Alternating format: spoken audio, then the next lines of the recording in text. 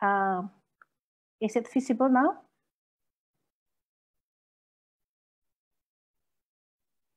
Yes, it's clear. Yes.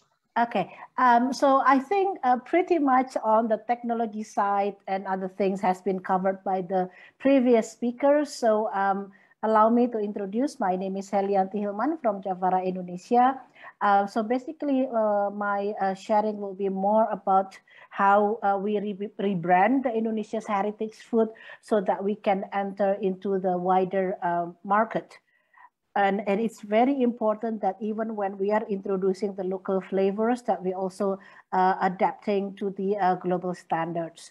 So basically the company started 12 years ago because we, uh, we were so inspired by our food biodiversity heritage. Uh, the challenge is how to uh, bridge the gap uh, to the market and um, bringing it forward for the wider audience of consumers. So um, basically our value proposition is how we bring a product that are, you know, uh, bringing the, the heritage food is not only about romantic for us, but it's about uh, delivering a nourishing um, food for the consumers, uh, but also it's about uh, delivering a healthy quality um, livelihood um, also for the farmers itself.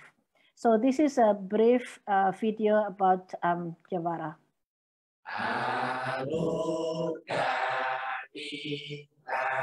sung ra quan mùng bước tham pin về ca quan ca quan alo ca linh lá xuống lá xuống ra quan mùng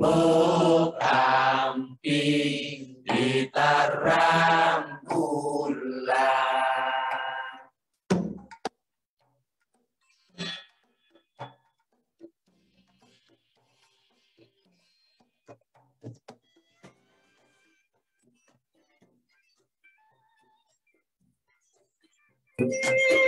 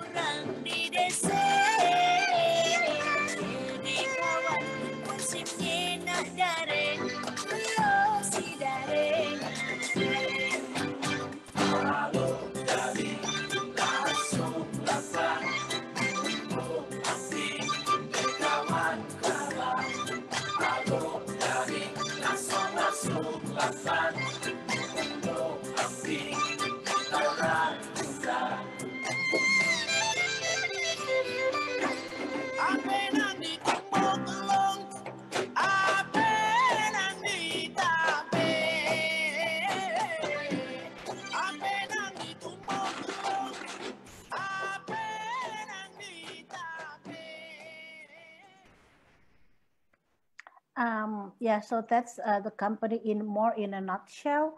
Um, uh, so basically you can see that we have a, a wide range of products.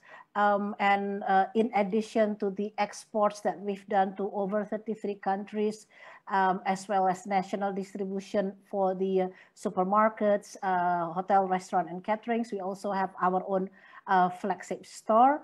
Um, so basically what I would like to highlight here is when um, because our biggest uh, homework in the beginning was about rebranding the heritage food to making it relevant and contextual for the current market. Um, so a lot of uh, things that we have done actually we have to come up with integrated business model because if anything missing in the supply chain, then the flow of the goods uh, or products to the market will not be happening. So this is where the issue of technical assistance, um, innovation, uh, adoption of technology comes in, because as you are aware that we also uh, are challenged with the climate change that um, changes the profile of how our food artisans are doing the production. So uh, when we do a rebranding of Indonesian heritage food, actually there are uh, some key elements that we have to adopt. First is that product innovation is definitely needed because we need to redefine the heritage food to be relevant to the consumers, uh, either current as well as the uh, future market. And then second is that standards and food safety um, certificate and certification is very much needed uh, because it builds the credibility uh, and also opens the door for us to access the market, um, uh, the wider market. Uh, but I think also for us, it's very important to build the narratives uh, because uh, Javara is not only about selling the products, but also the story behind the product, the people behind the product, the philosophy behind the product. And our key element on our branding is actually our local wisdom as well as the food biodiversity. So um, again, um, no matter how hard you do the branding um, of um, our company and our product brand, but if we don't have a good quality of the uh, products, it's impossible for us to be able to build our branding. So this is where the uses of technology um, for consistent quality and supply, as well as adapting to the climate change is needed. So this is also where we have our um, solar dome dryer. Basically, it's also help us uh, to adapt with the climate change because right now the you know the uh, the raining season is cannot be predicted um, as uh, in in the past.